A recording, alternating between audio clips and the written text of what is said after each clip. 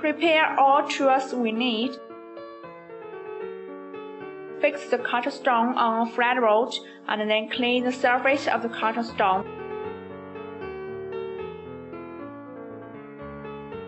Surround molds with flat rolls and seal the slits with hot melt glue. Make some marks on the surrounding rolls that are about 1 cm high. Actually, the height is the thickness of the silicone rubber mold.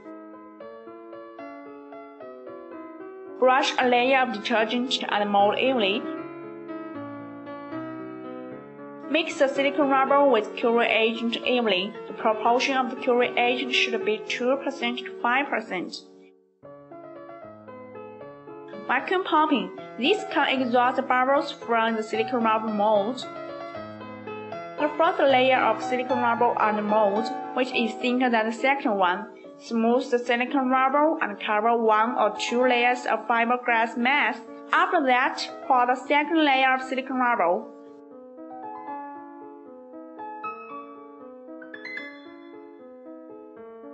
Remove the surrounding board after the silicone rubber is cured completely, 3 to 4 hours. Take out the silicone rubber mold and trim it. The silicone rubber mold can use into production every 24 hours and store it in ventilated, cool and dry place.